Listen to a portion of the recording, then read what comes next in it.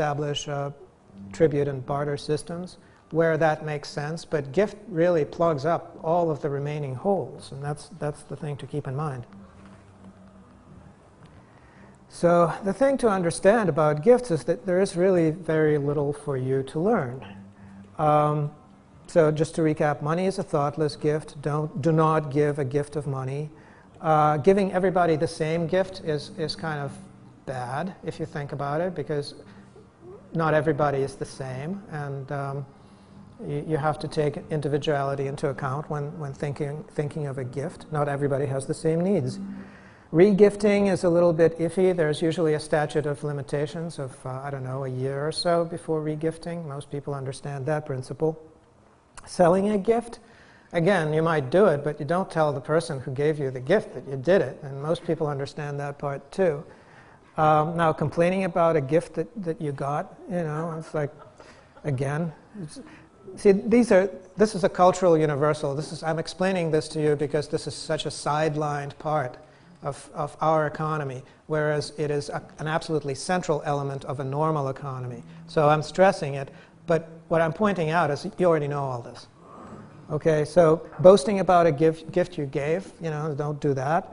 Um, giving too generous a gift, this is something that some people don't actually understand. The unreasonable onus of reciprocation can ruin the relationship. So you try to give a gift that somebody can actually reciprocate in some manner. Um, and of course, the worst thing you can do is give a gift and then not expect reciprocation. That is an absolute insult. Keeping a gift a secret um, is, is generally strange. Uh, generosity is a public virtue done out in the open. There's, there's no, no benefit to being generous if you're the only person who knows it. There are some special cases like well, secret admirers might buy you flowers, but that gets creepy, you know?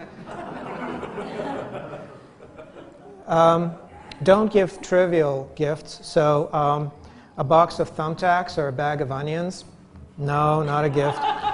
But there's an exception. Um, in, in societies that are, where gift and barter are prevalent, um, you, for instance, in Russia, a sack of potatoes is not a gift. Like it, that's an, a rather insulting gift to give to somebody is a bag of potatoes. But if people are starving then the taboos of that sort are automatically lifted. So the system automatically adjusts based on needs not based on rules or custom or anything like that it, it's flexible enough for that and uh, making a gift of something you dislike like i bought this but i don't really like it so i'll give it to you you know don't do that either so the important thing is that gifts are actually uh, amazing in that they bring out the best in us. You know, they, they, they speak to our, uh, to, to our, um, to our, our, our, strengths as, you know, as moral individuals. And it's not something that even has to be taught. Now, it's important to stress that certain gifts are not gifts at all. Uh, impersonal gifts, that is, if you don't know the person who's getting it, they're not gifts at all. Largesse is not generosity. Largesse is when you have too much and you give some of it away. So charitable donations are not gifts, endowments are not gifts, other forms of largesse that cannot be reciprocated are not gifts. So they do not give rise to gratitude, they give rise to some actually rather nasty stuff. Um, they give rise to resentment, they give rise to dependency, and they give rise to unjustified feelings of entitlement. This is, again, a cultural universal that you can observe in certain animals.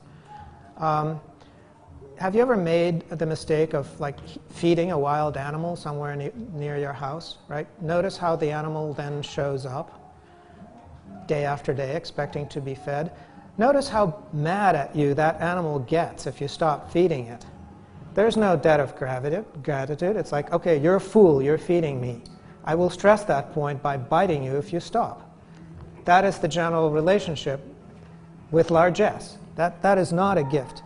So the same thing happens with recipients of charity. Charity immediately becomes an entitlement about the second or third time around and remains that way. So a gift that can never be reciprocated can be taken as a form of abuse or an insult. It's, it, it's, it becomes uh, a dysfunctional relationship as opposed to a helpful one. So crumbs from the master's table even if somebody accepts them gladly, they create hostility and alienation. And if you have too much, giving it away to people you don't know and care about is not a solution. So, back to the antipodes. One, one thing that occurs to people over and over again is that they can buy their way out of this predicament, kind of thinking back to those people who bought me dinner, those money men. Um, so the problem is they don't know how much it will take. Um, the billion is the new million and the trillion is the new billion and they just don't know how much money they'll take so they'll just they're just trying to run away with all the loot right now and they're kind of getting into a feverish state about it because the point is no amount of money will fix the problem and there's a belief coupled to that that you can buy your way out of it which which is that the industrial economy can smoothly scale down to boutique size all of those uh, offshore oil wells, all of those gigantic recoveries, all of those, uh, you know, fleets of jet aircraft, etc., can just like smoothly scale down to where they just serve the super rich and, and remain stable. I don't think that that's possible. I don't, as an engineer, I just don't see how that can ever happen. So then they think about, well, what will happen to money? Will it be hyperdeflation or hyperinflation or hyperstagflation? And some people, smart people like Nicole Foss, you know, have taken sides in, in this debate and, and, and uh, um, have a lot, of, um, a lot to say on the subject. But I think the question reduces to what will be the value of your money once you no longer have any? You know, there are people, there was a speaker here talking about slow money. Um, I think we need to talk about no money. And, you know, people all over this country have this touching faith that the rich will abide, the rich will be with us forever. No matter what happens to the world, somebody will still be rich. And, you know, I think some of them will abide, but if, if enough people owe them personal favors, not otherwise, not, not because they have, um, you know, a banking relationship or, or some gold bullion tucked away somewhere. So the problem with with all of that kind of thinking is that people who understand finance don't understand physical reality, and to some extent, vice versa. The, the important thing is that the value of financial assets is backed up by future industrial production, which is guaranteed to not happen. There really isn't enough physical, measurable stuff fossil fuels, ores, rare earths, phosphate for industrial agriculture, fresh water, many other things to, to sustain the current level of industrial activity, never mind expanding it. Um, I'm working on putting out a book with uh, Chris Clugston, who uh, did a very exhaustive survey of all of the non renewable resources that don't have substitutes, that are absolute requirements for maintaining an industrial base. And his, his conclusion is that there, there can be no physical economic growth at all from this point on. So what that leads us to is that capital assets, all of the stuff that makes a developed country developed, have maintenance requirements. They, they need a certain level of industrial activity in order to be maintained. If they're not maintained, they fall apart, they stop functioning. There's a constant level of investment and reinvestment required to keep airplanes flying, to keep bridges in a condition where you can drive over them, and so on. And, and that is happening already in many, many places. So once you have that, then capital assets become stranded assets. They become scrap. They become useless. And as that happens more and more, the big investment that was made in them that people expect payments on, you know, will, will, will become worthless. The collateral value will go to zero. Now, people are trying to fix this by various techniques, basically turning knobs on the system financially. Now, the important thing to understand is that nature does not respond to economic stimulus. It does not create more stuff when you print money. It does not respond to price signals. It does not respond to economic incentives or tax policy or any other sort of planning. It is what it is.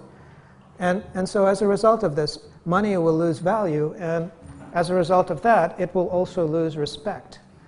People will show up with all their money and they will be told, Your money is no good here, sir. Please go away. And that will continue to happen until the message sinks in. So, for as long as we have this dominance of money in commerce, we have th roughly this organization scheme in society. So, basically, how, how big a person you are in society depends on how many dollar signs there are next to your name. So, you have millionaires, billionaires, maybe some trillionaires at the top. If you have more money, then nobody will oppose you.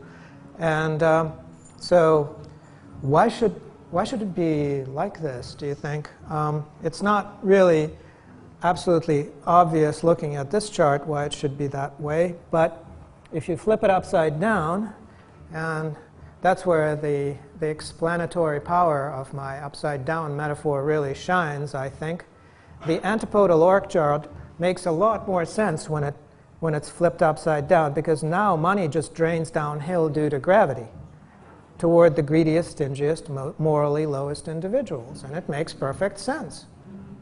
This economy is driven by gravity.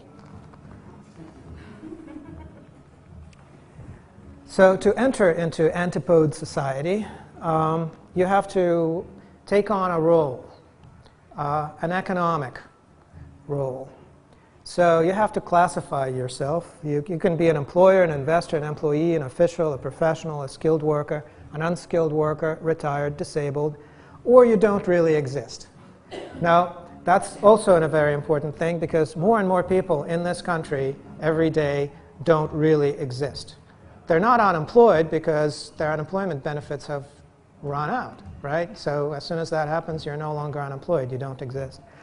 And, and um, it's the fastest growing class we have in the United States today. Examples include recent college graduates with no prospects of employment. Two thirds of them are moving back in with their parents if they can. People whose unemployment ran out, a uh, big category. Retirees with insufficient retirement or savings, and that, that's happening more and more as uh, uh, various types of uh, retirements um, especially uh, you know, the, the municipal retirements and so on, uh, turn out to be broke. The, the accounts turn out to be broke. And, and uh, young people who are not entering the labor market, who uh, uh, don't get into college and can't get a job. So saying goodbye to the antipodes is what we should all be doing because we don't want to collapse along with them. Things you can do to uh, make it to, to, to sort of slowly drop out of the system, I suppose, as opposed to uh, all at once, is not really define yourself too well. So you can be a freelancer or a hobbyist or a volunteer. Nobody knows what you really are, but, but you get along anyway.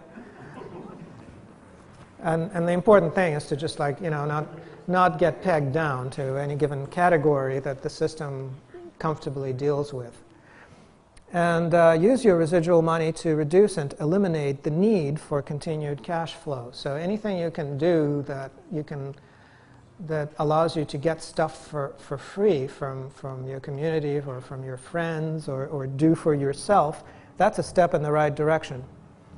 And the idea is to create closed cycle systems that are very local for, for things that you really need, like food production, like shelter maintenance, like transportation, Entertainment is a big category. People spend a lot of money on that.